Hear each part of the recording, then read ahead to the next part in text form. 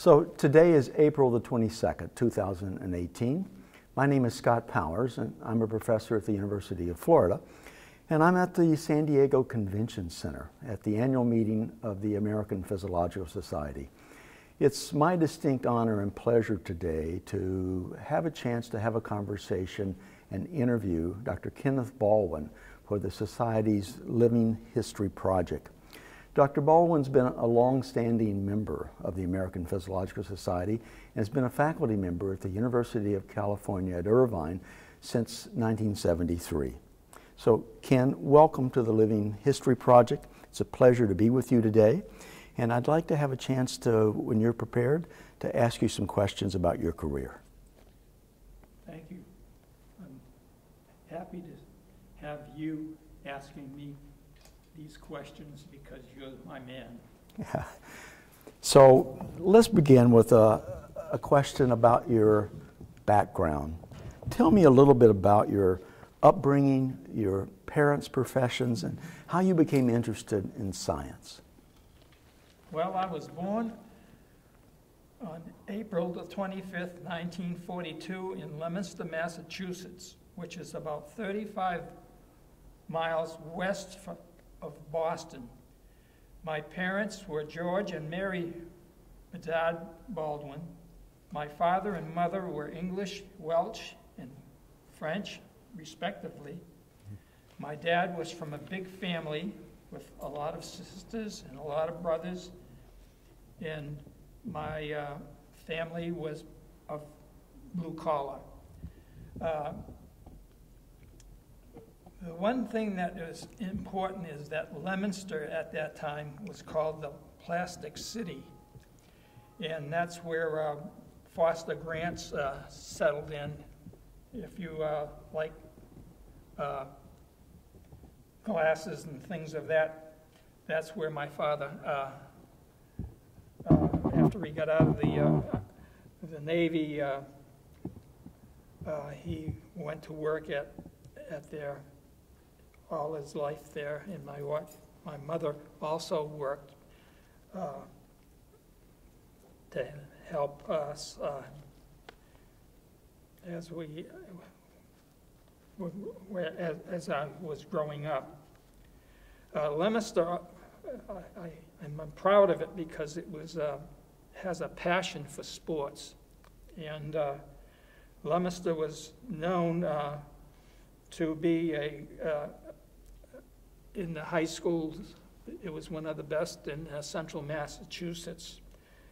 And uh, in my early years, I started to uh, play basketball, football, and baseball, and so forth. And then when I got into high school, I was in my uh, years there, I was uh, basically uh, playing football, basketball, and baseball, and uh, I really excelled there. And it was at that time that I uh,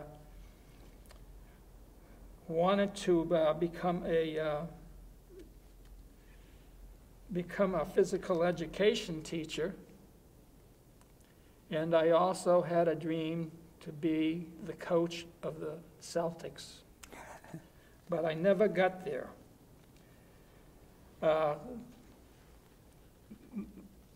My um, family didn't have a lot of money, and um, my parents wanted me to join the Navy because my father was uh, in the Navy in World War II, and he was there when I was born, and he didn't see me until I was two years old. So uh, I finally went out and they said, We will do our best to help you. And I uh, was accepted, accepted to Springfield College. So I, a lot, I owe a lot to my family that uh, really helped me along the way. And, and, they weren't rich at all. And so uh, once I got to uh, Springfield, then I started to move forward. So, in regard to Springfield, let's shift our conversation now, and I'd like to ask you about you received your bachelor's degree from Springfield and a master's from the University of Massachusetts. At that time in your career, what were you thinking that you were going to do going forward? Well, as I said just a minute ago, uh, I loved playing sports in my early years and was lucky enough to go to uh, Springfield College. And I knew uh, it was pricey there, it was a private school. And the day after I graduated from high school, I started working in a paper mill in Fitchburg, Fitchburg. Leominster and Fitchburg are Mutt and Jeff. And uh, the, the, the, the, thing about the, the two towns is that on Thanksgiving, they would have the, their, uh, their football at, on Thanksgiving. And they have the longest rivalry in the country except for Boston English and Boston Latin. That's how long that they've been playing against each other. And Leominster has won out most of them. Thanks. So my uncle got me a job at this one of the uh, the uh, where is it now? It's uh, uh, in the in, in a factory, a paper mill, and I worked there every uh, summer before I went to Springfield, and then in my four years, I uh, worked there too to um, pay so that uh, at the end of the day, I never had to take out loans and all that and when I was at uh, Springfield. So uh, uh, I think uh, we teamed up and did well. So when I got into Springfield in my junior year, I had to take exercise physiology, which was uh, uh, uh, under Dr. Charles M. Tipton. And he uh, taught exercise sciences. And at that time, uh, he was working under Dr. Peter Karpovich, who was one of the big guns in the exercise sciences worldwide at that time. It turned out that I aced Tipton's rigorous course, and he invited me to join him in his studies of exercise. It was at that time I knew I wanted to go in my future into the sciences. However, when I returned to uh, Springfield in my senior year, I learned that Dr. Tipton was recruited to the University of Iowa in Iowa City to put together an exercise physiology to uh, put that university on the map. Therefore, I started looking for good schools in the east, on the East Coast, and I found that uh, the University of Massachusetts in, in Amherst, which is close to Springfield, was putting together an exercise program there. I learned that one of the professors running the program was Dr. Benjamin, uh, Ben Ricci, who was a graduate from Springfield College in the class of 1948. Tipton uh, was uh, in 1952. So I called him about the program, and shortly I was offered a scholarship for my master's degree. And uh, at that time, uh, I was recruited by Dr. Ricci, and he uh, studied potential mechanisms at that time enabling athletes to increase their maximum oxygen input and their oxygen debts. And I look, I started at, and I got my master's degree uh, studying that, those um, subjects and so forth. From there, I uh, started uh, thinking about wh- what, what do I really want to do because I knew uh, Tipton was there and I, I needed some uh, framework once I got my master's. So I um, learned that at Keene State College in New Hampshire, one of the professors was taking a year's sabbatical to Springfield to polish up his research.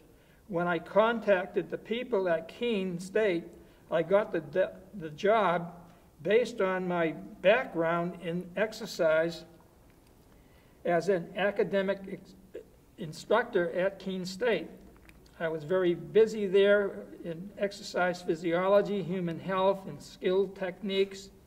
And I was also filling in for the head coach varsity men's tennis team. I never played tennis, but I had a skill set with it. And uh, I studied, and uh, long story short, we won the uh, New England championship.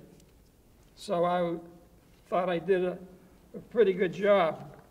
While at Keene State, I contacted Dr. Tipton at the University of Iowa concerning my chances being accepted into his exercise program. He told me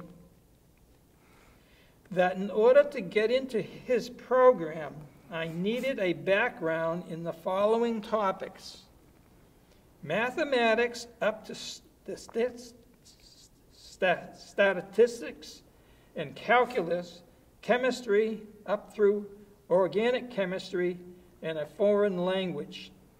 I chose French because of my mother.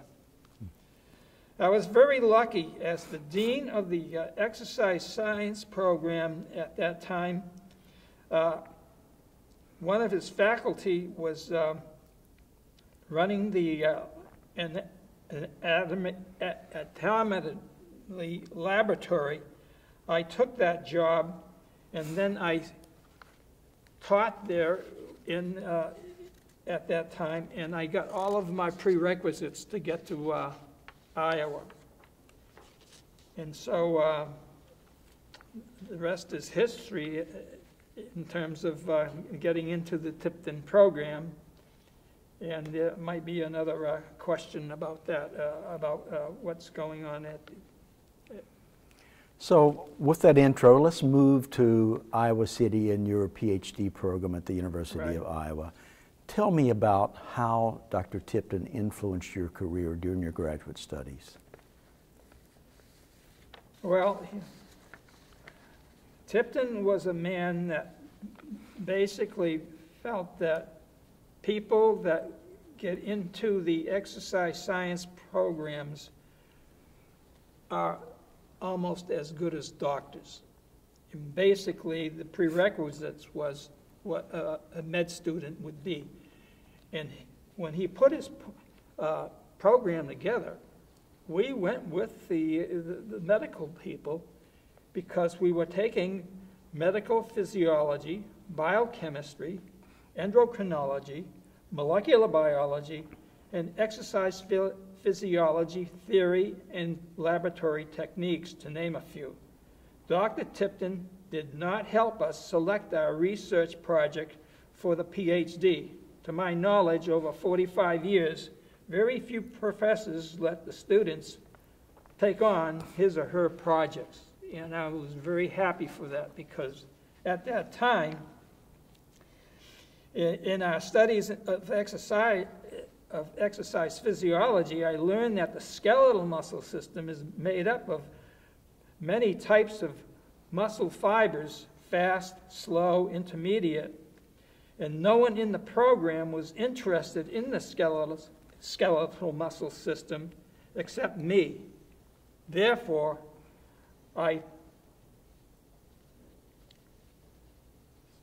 did my uh, research on work in metabolic patterns of fast and slow twitch skeletal muscle contracting in situ. And uh, I did a good job with that, uh, and I earned my uh, PhD, and I got a paper out of it.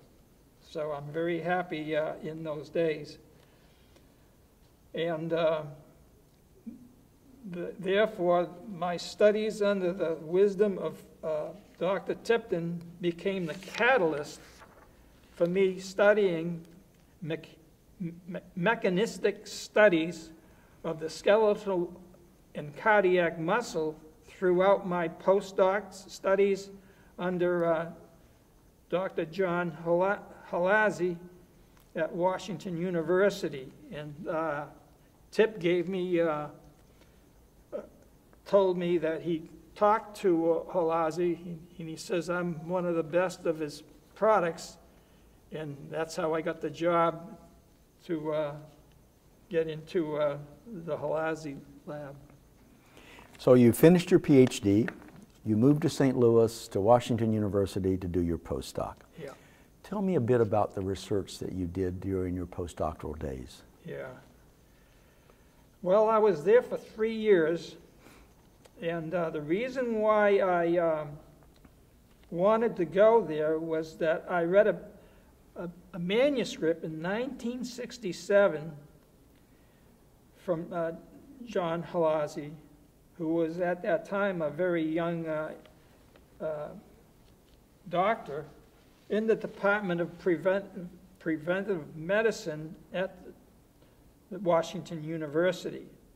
Dr. Holloszy was one of the first to demonstrate that high intensity running of rodents induced the biogenesis of mitochondria, which carries the oxygen to all the organs of humans and animals.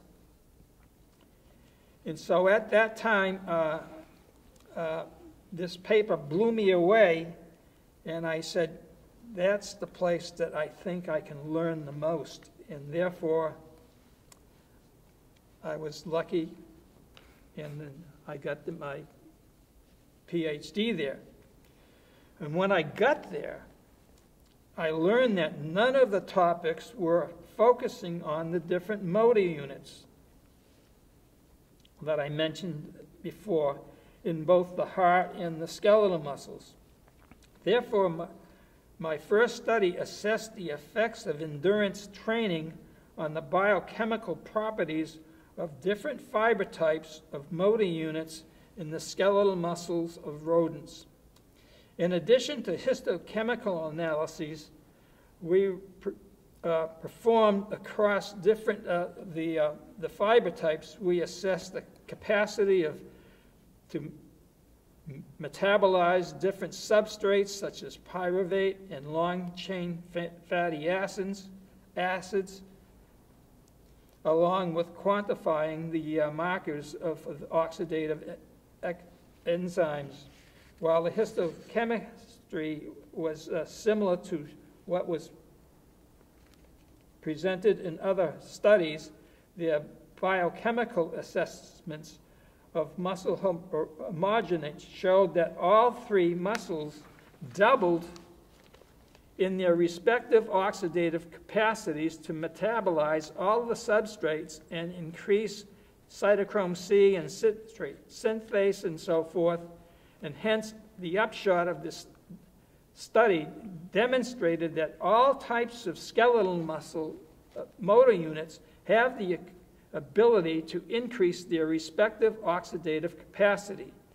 The dogma prior to this time hypothesized that just the low oxidative motor units could increase their metabolic capacity. So it changed the whole framework, that, that paper, in 1973.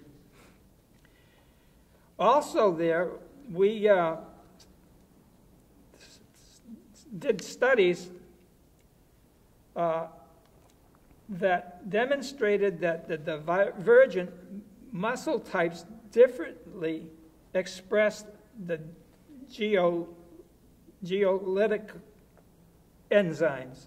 These particular enzymes were affected differently by chronic endurance running such that the slow motor units increased their glycolytic capacity, while the opposite happened to the fat, fast, white, and fast red types. These collective findings demonstrated a pattern of ad adaptation at that time that uh, endurance exercise trained in skeletal muscle took on the properties to that of the cardiac muscle, which represents the epitome of endurance. So, conditioning like that, these findings suggest that human elite marathon athletes also induce the same alterations as demonstrated by our marathon runners. So what's good for the animals that we were finding is good for the humans. Uh, another thing that was important uh, in the uh, in the Holloszy lab was uh, what happens when you train animals over 10 weeks so that they are highly fit for uh, marathons and so forth. Uh, we did two studies where we had individuals, individual groups, and we would run them till they hit the wall, so to speak, where they, they just couldn't run anymore. Then we took biopsies from all of their muscles, took blood, and we also um, took uh, biopsies from the liver.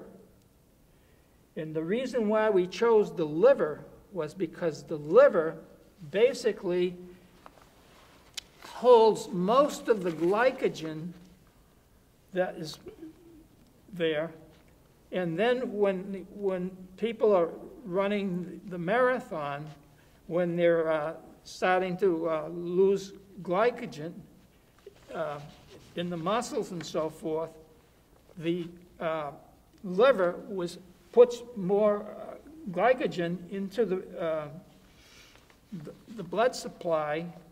And then what we found during those studies was that when the uh, animals lost all their liver glycogen, that's when they quit. And that's the mechanism, we think, for people when they're running marathons hit the wall when they can't continue anymore.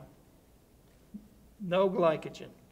So that was uh, one, of, uh, uh, one of my favorite uh, findings uh, in, in the uh, Holloszy lab. So obviously you did a lot of interesting work during the postdoctoral training at Washington University. And from WashU, you then took a job in the Department of Physiology at the University of California at Irvine. Yeah.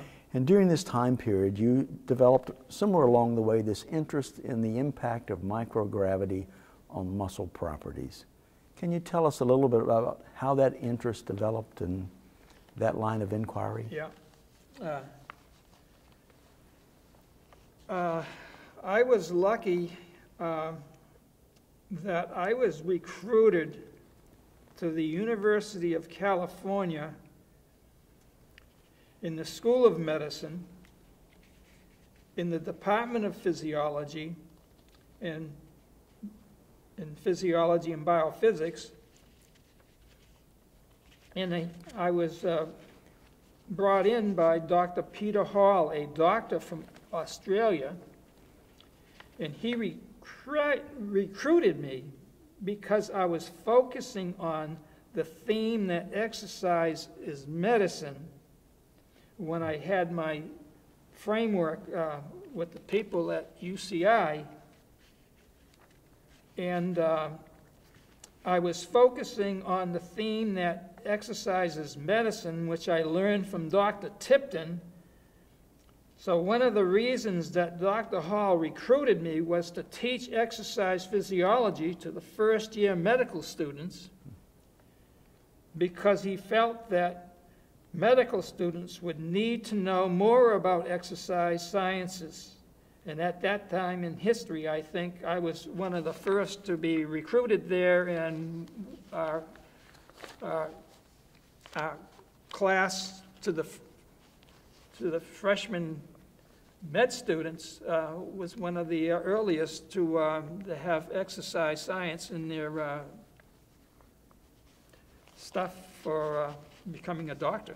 Mhm. So that was, I think, an important point there. Uh,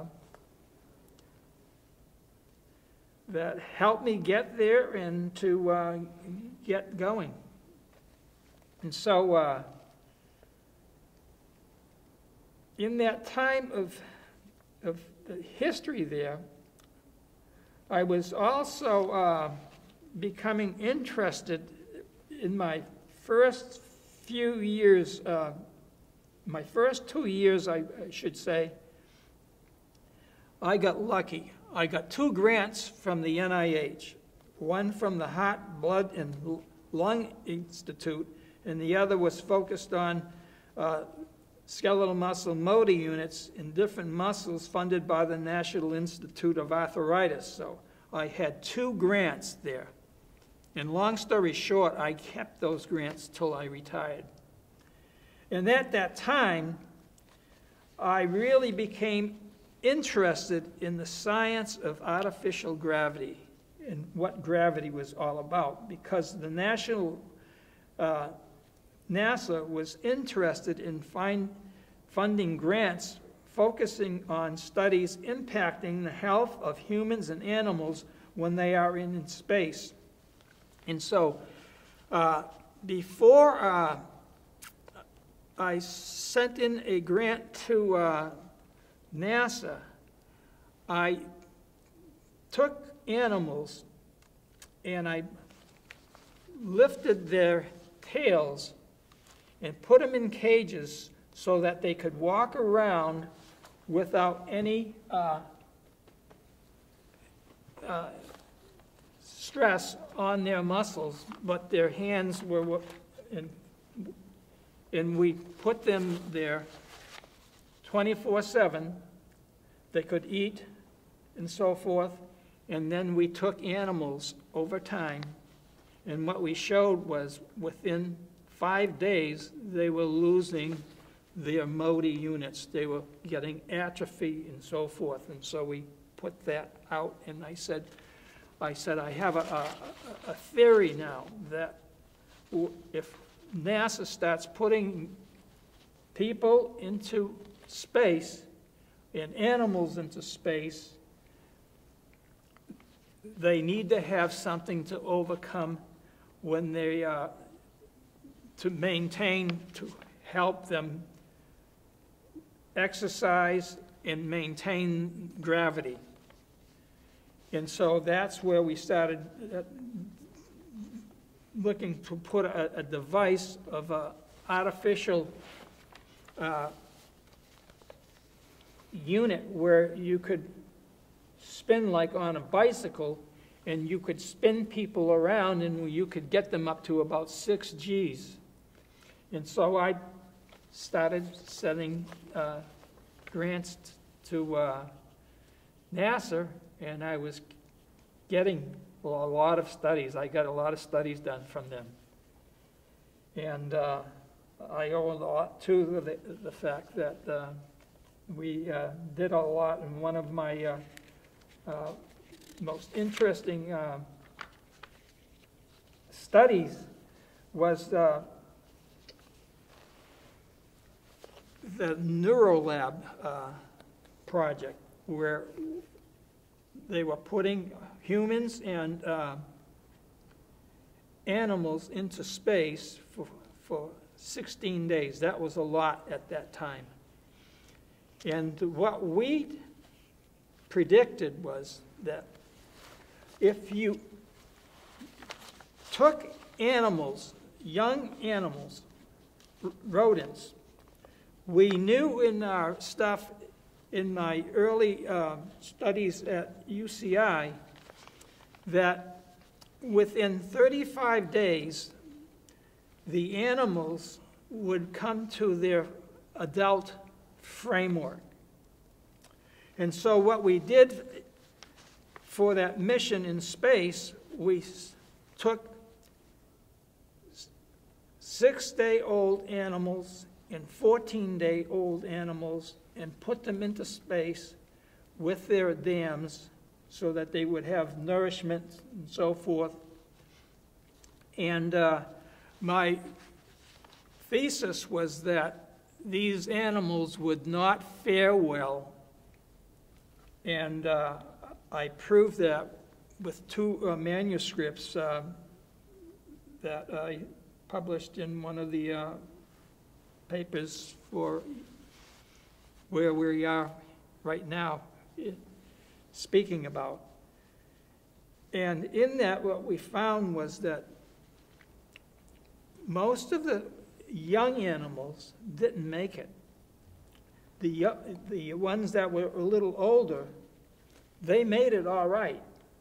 But their hearts were smaller, and all of their skeletal muscle systems were uh, atrophy. Actually, some of them, they basically lost uh, what they had, uh, especially to the ground groups that we had to match them against, so forth. So that really put me on the map there with this uh, NeuroLab uh, project, and it was one of the uh, the things that really, uh, uh, because of what I was doing in the sciences, I started to do it into a lot of their programs there, and I did a lot there. We'll talk about that down the road. Well, clearly, your work was pioneering in the early days of It was going to go on. And they, if I didn't bring it up then, they would have never uh, thought about it. The third person who has had a big impact on my career was Dr. John Holloszy, who retired last year. Dr. Holloszy is one of the most brilliant scientists that I have interacted with over the years. He knew his theory on many topics. He was a greater, great writer, but his strength was not in the laboratory. Nevertheless, I learned a lot in his laboratory, especially molecular biology and physiology. However, what I learned the most was that I would never follow in his steps concerning the many topics that he was fo focusing on because I could not beat him. Because he had so many postdocs at the same time. I was number three out of about 112 postdocs in his factory. In my uh, last year, uh, I asked Dr. Holloszy if I could do a study as to how myosin and actin, the two molecules that make up the motor that enables one to know how the muscle genes are affected by different types of aerobic exercise. He allowed me to do the, a simple study on that topic, and we published it in 1975. From that point on, all my research studies have been on the molecular biology and the interactions of omics, genomic, epigenetic studies concerning the myosin heavy chain family. Therefore, the three stints under the years under Holloszy was the real catalyst for me recruited to the UC campus and spanning from 1973 to the present. The, first per, the fourth person who had a big impact on my career was Dr. Walter Henry, a cardiologist in echocardiography who was the dean of the UCI School of Medicine from 1989 to 96.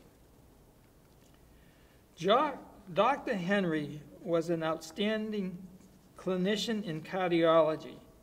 He was recruited because he had a vision to build out all of the programs in this young medical school and its hospital five miles away from the Irvine campus in Anaheim.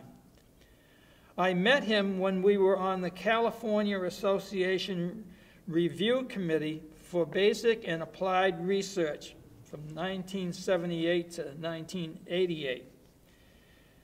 Therefore, he knew my background and the fact that I was a good scientist with many grants, so that I would be a logical person to become the Senior Associate Dean of Academic Affairs. I accepted the job, and my primary duties were to oversee all the faculty being recruited in the School of Medicine and their promotions. Also, overseeing the space of all the laboratories in the School of Medicine.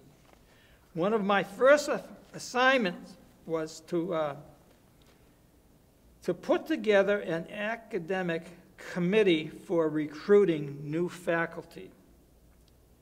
Therefore, I recruited the best scientists in each of the departments in the School of Medicine. Therefore, when any department was, were to uh, recruit a new faculty candidate, that person was vetted through that committee so that only the best candidates would be recommended to the UCI campus committee for accepting new faculty. So that was a big hit, and many of the other uh, on the main campus started to follow that uh, framework of mine. I truly learned a lot over my years with Dr. Henry because his wisdom helped me when I was on so many uh, national academies for the NIH, NASA, and the National Academy of Sciences dur during my career. So I learned a lot through him saying, what would Walt do if he was faced with this issue? So I was indebted to him. So, Ken, you've had really many, many outstanding publications in your career, well over 230. But in your view, what are some of your most important contributions to physiology? Well, I mentioned before the dogma at the time was that only the slow oxidative glycolytic uh, units would induce more mitochondria in the muscles of the trained muscles that we did. And my findings showed that all three types of motor units doubled their mitochondria in the trained muscle. This project catalyzed so many other manuscripts from other exercise sciences. So I thought this uh, AJP 22, 373 to 378 in 1972 was one that a lot of people then started uh, doing uh, what we were doing as well. And so I'm really indebted to that. Also, in 1973, uh, in, the, in the lab, the, the thing with the, uh, the, the, the critical thing about uh, what's happening to the uh, liver and all that, I thought that was one of my uh, better findings as well because we found out that all of the animals had low glycogen in their muscles, but the liver content of glycogen was almost gone. So we found that the uh, blood of the carbohydrates was so low, we speculated that uh, marathon rats were very low in their blood carbos because the glycogen in the liver were in a storage bin for sending carbohydrates to the muscles uh, for pr providing fuel to, to the individual. Therefore, we discovered, we think, and predicted that in humans running a, a marathon, they will hit the wall and stop running because they are experiencing very low glycogen in their. And so that was uh, another uh, thing that was. Uh, I mentioned the Neurolab earlier, and uh, that put me on the map uh, for what was going on in, uh, with NASA and so forth, and how it catalyzed me to move to other things in, the, in that framework of uh, sciences and so forth. Uh, uh, I would like to uh, finish in, in, terms of what I, um, my, my research here, and I, I want to uh, push it in, in this way. Ken Baldwin, since he arrived at UCI and his PhD students and postdocs have primarily focused on the myosin family heavy chain uh, gene family of motor proteins as the marker genes that we uh, studied. Consequently, our research has gradually evolved to the molecular biology, physiological field, for example, in recent years, we have made important findings suggesting that the fast MHC genes are transcriptionally regulated as a gene loci in which they communicate with one another through expressions of non uh, coding antisense RNA regulated by the intergenic promoters. This has been via new programs and aims in the theme of genomics and epigenetics interaction, and I think this is where everything in science is going now.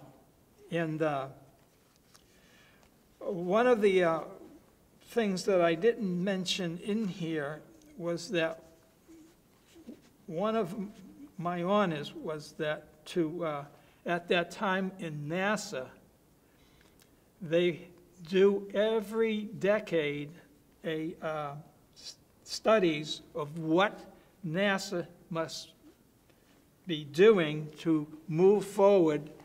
And right now, their big thing is trying to go to Mars in 3033.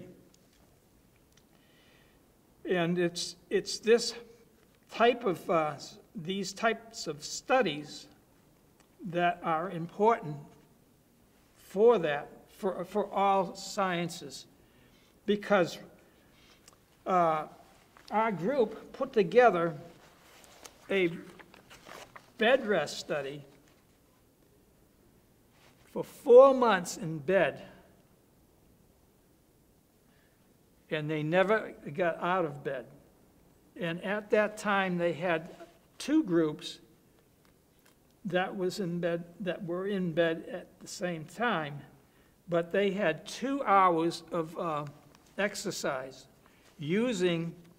There were two groups. One that were, were using one of our devices, which was a, uh, a flywheel where you could use aerobic exercise and resistance exercise while they were lying on that bench there.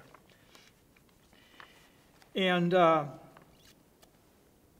what they found was that the group, the second group, were using all of the heavy units that they're on ISS, where they have these big, big uh, units for doing resistance exercise. And at the end of the day, our small device was as good as the big devices for maintaining the health of those individuals over those four, four months.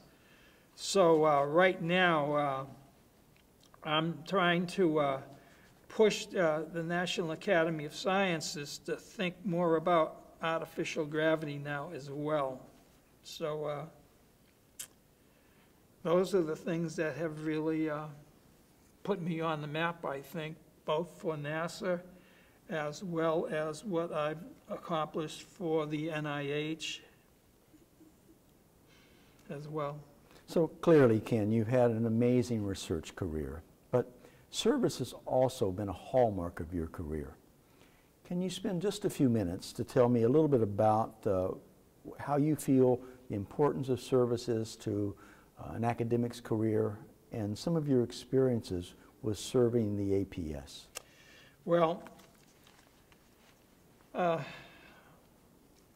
I really uh, did a lot, I think, along with you, because we like the APS. It's a fantastic society. And some of my contributions to APS was that I published 160 manuscripts in their society journals that I think they're the best around for sending your studies and so forth. I was honored as becoming an early APS Fellow. I served on the APS Animal Welfare Committee for- from 1900 to 1993. I served on the AP section on Environmental and Exercise Physiology section that- and was the chair for 2001 to 2004. I also won the honor award for that section in nine, in 2006. So I did a lot for the, uh, that section of uh, EEP. I served as the representative to FASEB consensus for federal funding of biomedical research, and I did that for 1996 for the uh, APS and was the chair of the subcommittee review for NASA for 1970 1997 to 1999, and I was pushing for the budgets for NASA uh, from, uh, from the FASEB consensus. So uh, uh, I thought that was one of the uh, big uh, highlights of, for this APS stuff. I was on it as a member of the APS Council in 2010 to 2013, and I thought I brought a lot to that uh, impact. And then I won the um, APS Edward Adolph Award for the En- Environmental and Exercise Physiology lecture, which was a, a big, uh, big thing at, at that time, as you well know. So uh, I'm indebted to uh, the APS big time. So Ken, let's shift gears for just a moment. I'd like you to reflect a bit and tell me about your first attendance at an APS meeting and contrast that to today's meetings. Well, I started going to meetings when I hit Iowa. Tipton took us to both the ACSM and the APS whenever he had enough money to do us. And I learned that that's what I did. And I, as soon as I had enough money in my wallet, I joined both of those uh, societies. So at my first meeting, the APS, I was blown away with all of the big shots attending along with the Tip, Tipton there because Tipton knew everybody. And so when I'm tagging around with Tipton, I learned all about Phil Gollnick, Bengt Saltin, Loring Rowell, John Holloszy. Uh, at that time, I uh, already uh, knew John, but uh, he was uh, one of the bigs there. Jerry Mitchell, the, uh, another great guy, too. All of these guys, they were the, the ones that had pushed things together, and that's where the young people like us at that time could learn a lot from uh, just mingling with these people and going to their presentations and uh, all the things that they were doing there.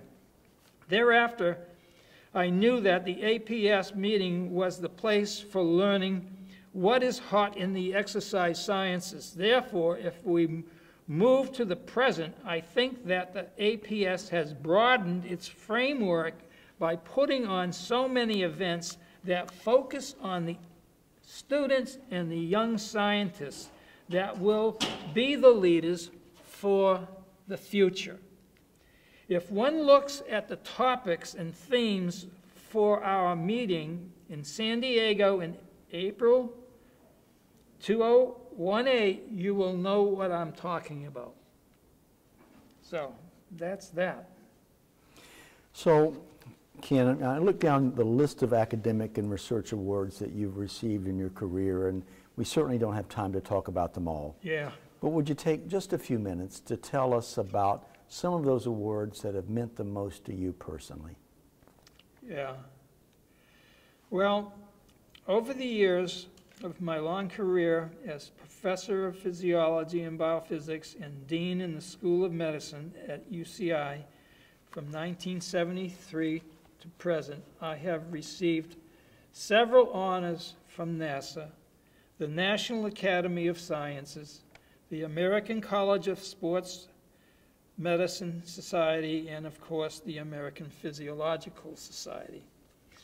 I was honored with about 20 accolades concerning research and service to the many committees uh, and projects that I contributed over the years for NASA. However, three of them were very special. The highest honor that you can get from uh, NASA is what is called the NASA Life and Biomedical Science Advisory Subcommittee. I was on that, I chaired that from 1992 to 2000, and then I won the NASA Public Service Medal for Research in 1999.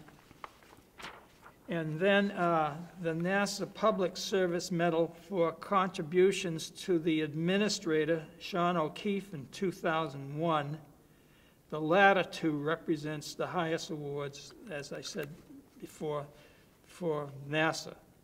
Concerning the National Academy of Sciences, I chaired the Animal and Human Biology chapter task force decadal study, which took, took me over two years to put all of it together with my team there for the, Na the NASA Life Sciences research in the next decade, and that was from 2010 to 2020 and this was sponsored by the Space Studies Board of the National Academy of Sciences. Based on the above, I was recruited to the National Academy of Sciences Committee on Biological and Physical Sciences in Space from two, for 2014 to 2020. This committee will oversee the NASA mission to go to the moon and onward to Mars in the 2030s. So uh, I'm indebted to the National Academy there. As for ACSM honors, ACSM uh, cited me with a research with a research and achievement in the exercise sciences in 1993. The ACSM Southwest chapter honor award for research and achievements in the exercise sciences. The ACSM Gollnick Lecture Award in 2007, and then the ACSM Honor Award in 1911. And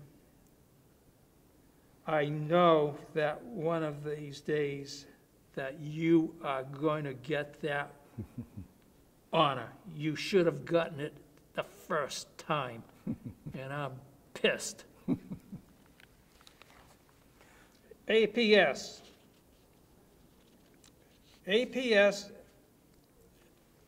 Edward Lecture Series of Environmental and Exercise Physiology. The APS section of Environmental and Exercise Physiology, uh, I, I got an honor from them. And uh, I'm really I don't know how to say it, but I- I'm, I'm really honored for how people have given me uh, these honors. Ken, you've been very patient, but there are two more questions I'd like to ask you before we end today. And the next to last question is What role has the APS and other scientific societies played in your career? They, there were three scient, scientific scientists, so- so- societies, excuse me, I'm getting a little bit uh, lulu here, that I belonged during my career. The American Physiological Society, the American College of Sports Medicine, and the Physiological Society in London, which we teamed up uh, uh, for several years there.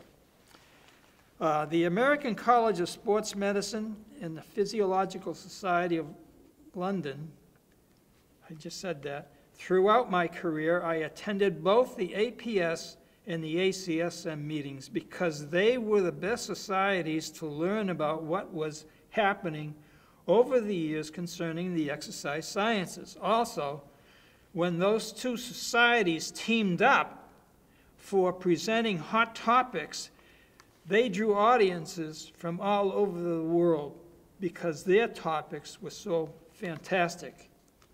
In my later years, I was shocked when the Physiological Society in London re- recruited me to be on their board for the oldest physiological journal. I could not refuse. It turned out that Scott Powers and I for overseeing manuscripts concerning the exercise sciences for this journal. It was a pleasure working with you, Scott. So, So, Ken, one last question. What advice would you give to students today that want to embark upon a career in science? well, first of all, I would only advise students who were interested in the various fields of the exercise sciences, so I'm focusing on there. That said, I would suggest that one should research only the best colleges and universities. For example, I suggest a few good places as we speak right now, such as the University of Florida, Gainesville, Ball State University in Muncie, Indiana, and the University of Michigan, to name a few, because of their strong faculty. And I think faculty is what makes any program excel. I would suggest that they check out the faculty of those places and contact them as to what they are studying and if they have grants. if one finds a place to go to, work hard from the first day, and then join some of the societies that I mentioned above. And learn as much as you can be concerning the hot topics for your research, etc. Work hard and get your PhD, and then start looking for a postdoc because what you accomplish in your research during that time will set you up for being recruited to a great job in a university such as the University of California, Irvine. That's the way Ken Baldwin did it. Ken, I want to thank you for participating in the Society's Living History program. It's truly been my pleasure and honor to have a chance to talk with you today. Thank you very much. And thank you for being by my side. Great job, my friend. Thank you.